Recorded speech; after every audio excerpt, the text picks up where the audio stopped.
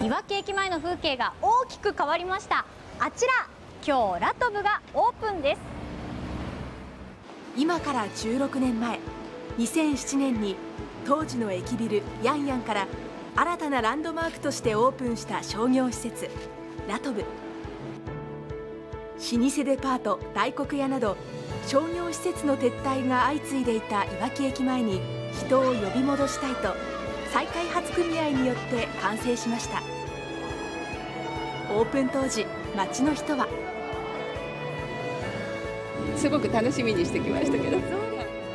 地上8階地下2階建て。スーパーや衣料品店図書館や市民スペースなど幅広いジャンルのお店が入りにぎわいを見せました。現在はおよそ50店舗があり駅前のシンボルとして愛されています。一方で来場者数は2014年をピークに右肩下がり。オープンした年の400万人に比べ去年は270万人と集客が課題となっていました。